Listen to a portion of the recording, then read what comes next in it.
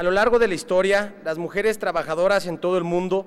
han librado una lucha para que sus derechos les sean reconocidos. A partir de que las mujeres comenzaron a incrementar sustancialmente su participación en la vida laboral, las demandas sociales de las mismas comenzaron también a multiplicarse. Al tener que dejar las labores del hogar para ayudar con los ingresos del mismo,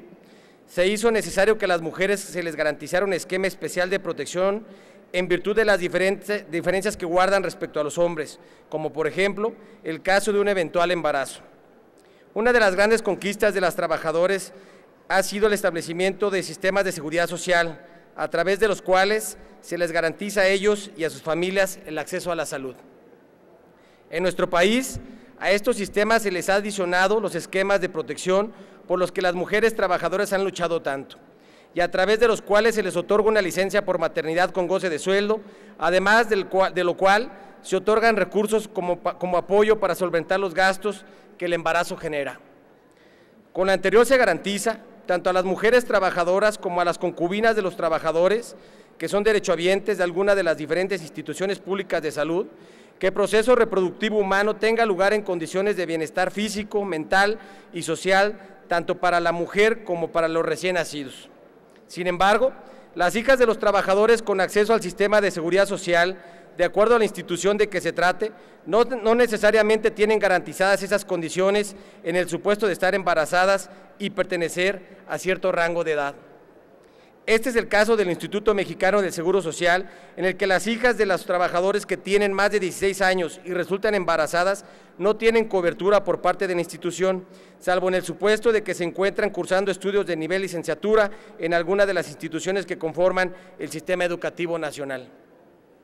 La comunidad internacional ha venido recalcando la necesidad de proteger los derechos de las mujeres embarazadas, un ejemplo de ello es la Declaración de Barcelona sobre los derechos de la madre y el recién nacido firmada en España en septiembre de 2001, que insta a los legisladores y gobiernos de todo el mundo sobre la necesidad de garantizar a las mujeres embarazadas una atención médica adecuada, de modo tal que las futuras madres tengan a su disposición los avances tanto, diagnósticos como terapéuticos aplicables durante el embarazo y el, y el parto.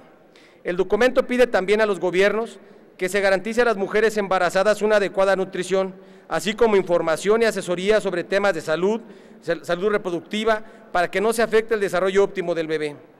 Es importante resaltar que aquí también se involucran los derechos de los niños y niñas a los que el Estado está obligado a garantizarles el acceso a condiciones que permitan un crecimiento sano y armonioso. Y para ello es esencial protegerlos desde que estos se encuentran en el vientre de su madre. Debemos recordar que las mujeres que no reciben atención médica durante el embarazo, lo cual es común especialmente en los casos de adolescentes embarazadas, aumentan el riesgo de morir durante el parto. Además de que la posibilidad de que los bebés con madres adolescentes registren bajo, el peso, bajo peso al nacer aumenta eh, de manera debida, principalmente a causas orgánicas, tales como anomalías placentarias y nutrición deficiente que no, que no detectadas por no recibir atención médica. Cabe recordar que en el caso de otras instituciones de seguridad social, como el ISTE y el Instituto de Seguridad Social de las Fuerzas Armadas, de acuerdo a sus leyes, se establece que las, que las hijas trabajadoras se encuentran cubiertas en lo que respecta a la atención obstétrica hasta los 18 años, plazo que puede ser prorrogable en caso de estar inscritas en alguna institución pública de educación superior.